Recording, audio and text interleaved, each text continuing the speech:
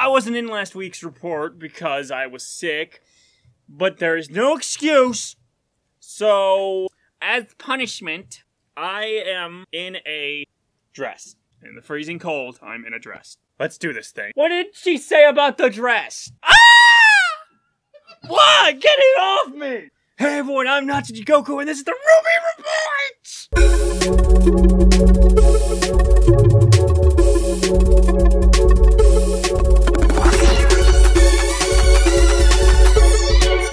Everybody. It's your man Joe Mahawk 2694, and I am here with Django Fett 23. for episode four, or episode six of volume four, Tipping Point. And oh, baby, is that accurate? In this episode, Ruby and her gang are just walking down the street.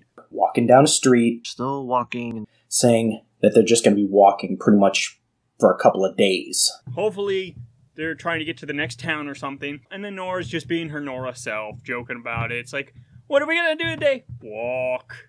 With more walking. Apparently, Ruby only thought this was only going to take a few weeks, not almost a whole year. And then they come across what looks like a bombed out village. That's not on a map. So they rush inside. Look for survivors thinking the town was attacked. And in said bombed out village, they find out it is not actually bombed out, but abandoned. And that light is very blinding. It's called Oniyuri. Which apparently Ren has some connection to. Why Lie Ren's giving backstory on this town. He knows of this town. Nora didn't even know about this town. So that means there are things that not even Nora knows about Lie Ren. Lyren, why didn't you tell your waifu that you knew about this town?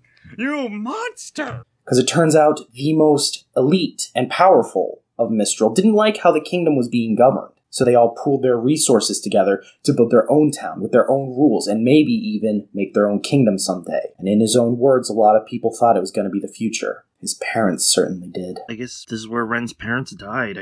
I'm kind of curious to know what actually happened now.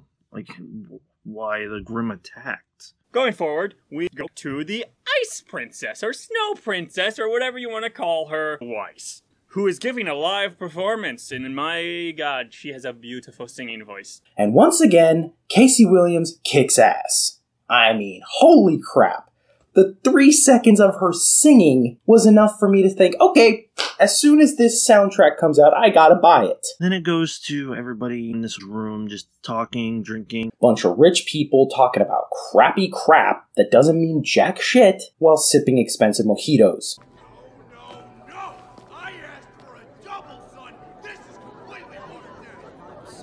Weiss looks over and sees a picture of Beacon before it was destroyed.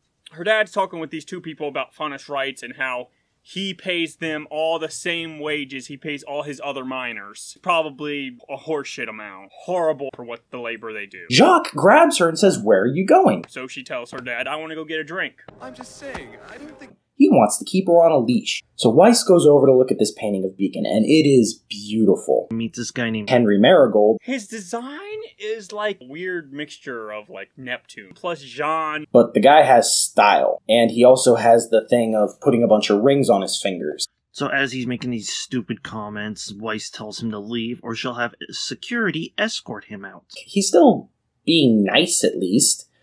You know, and he's saying, uh, you know, he says, You gonna buy this painting? And she's like, No. And he's like, Yeah, it's kind of expensive for a painting. And she's like, It's for charity. And he's like, Oh, really? And he asks the most important question that anyone could ask this episode Charity for what? Somebody asked that question! Finally! So he walks away. Weiss is still looking at the picture of Beacon. We're gonna be seeing him again since he has a name. You don't get a name in Ruby unless you're important.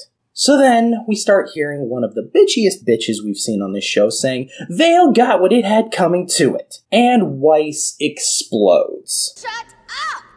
You don't have a clue! None of you do! You're all just standing around talking about nothing! They're all being arrogant fucks.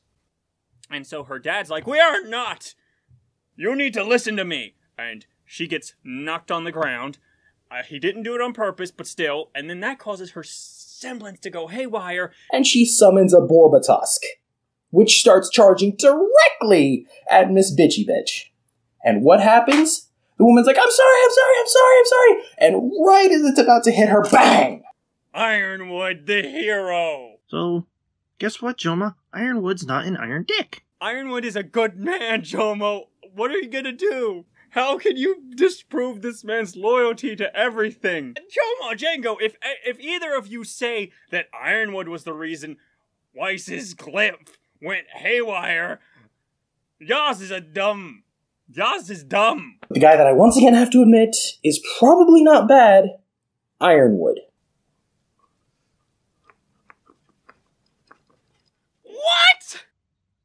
What do you think about that? So, Miss Bitchy Bitch says, Arrest her! Ironwood's like, She's the only one making sense. And walks away like the stressed out badass he is. and I'm like, Yes! Someone in this whole godforsaken kingdom actually acknowledges what the hell's going on. Oh, and quick little Easter egg. The person who painted that painting of Beacon, pretty sure it was Weiss's mom. It looked like Elsa Schnee or something like that. It definitely had a big E.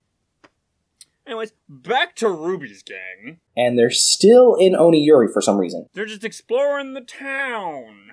And so then Lie Ren senses something. Because the birds are flying everywhere.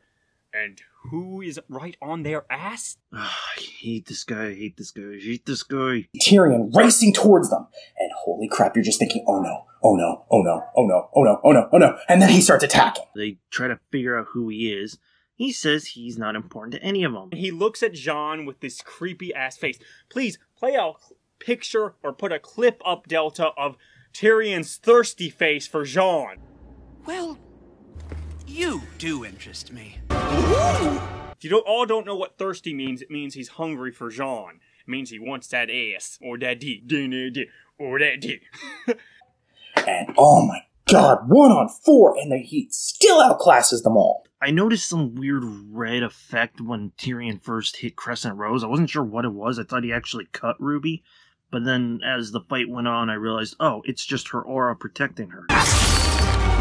So then they get into a big fight, and this guy's weapons are crazy. They're like claw mounted gauntlets, like the Predator.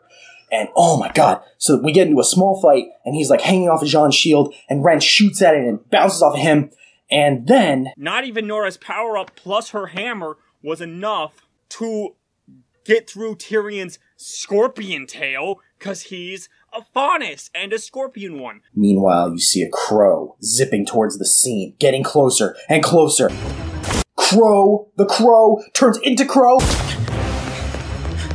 And Tyrian goes in for us killing strike.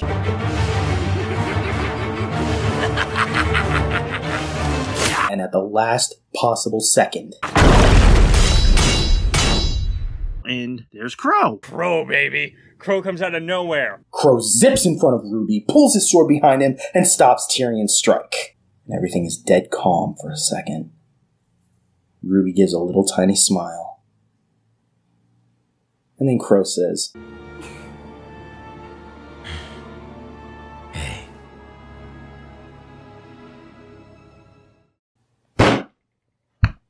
That's when the episode ends. We get a two-parter.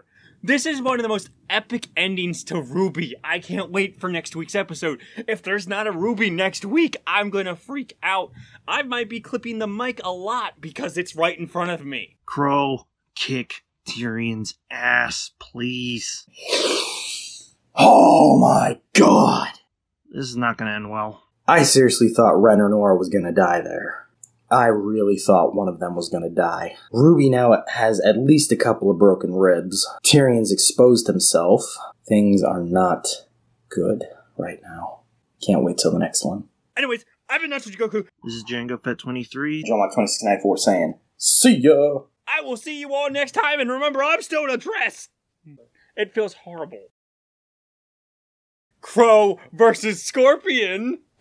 God, this show used to be funny. We forgot the mic the first time. This episode, I can't say the word Mercury. Damn it. That one of them's dead, one of them's a deadbeat, one of them's most likely an alcoholic, and one of them is. We don't know. I have a theory about um Tyrian's we- um semblance. Maybe his semblance is he's able to penetrate through people's auras.